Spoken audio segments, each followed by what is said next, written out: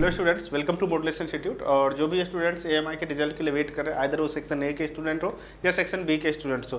तो जैसा कि देखा गया कि लास्ट टाइम सेक्शन ए और सेक्शन बी दोनों रिज़ल्ट एक ही साथ आया था तो इस बार भी सेम एज इट इज़ आएगा। और होप सो कि दिसंबर के फ़र्स्ट और या सेकेंड वीक के विद इन सेकेंड वीक के अंदर ही आपका रिज़ल्ट आ जाएगा।